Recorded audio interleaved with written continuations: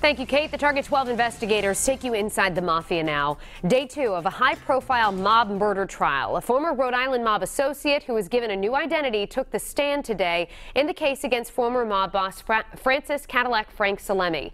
Target 12 investigator Tim White has been tracking the case from the beginning and was in federal court in Boston. He's here now with the latest.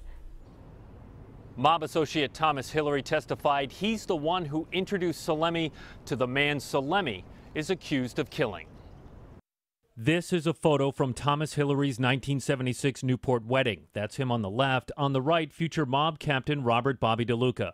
Hillary says he was close to then mob boss Raymond L.S. Patriarca and his son, and it led to a lucrative life of crime. He testified, if you had union problems, we'd straighten it out. We did hijacking, shakedowns. It was like out of the movies. Hillary says he met Francis Cadillac Frank Salemme in the late 1980s and they formed a crew in Boston. This is a police surveillance photo of some of that crew. Salemme's on the right.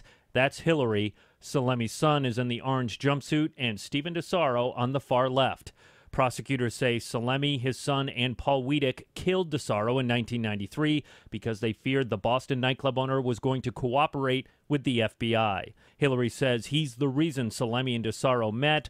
He says he and DiSarro grew up in Providence. He testified, he was my friend and a good, good guy. He was like a kid brother. Hillary cooperated with the FBI in a separate case and was relocated under the Witness Protection Program in 1994. Defense attorneys bringing up Hillary's underworld lifestyle questioned his ability to tell the truth.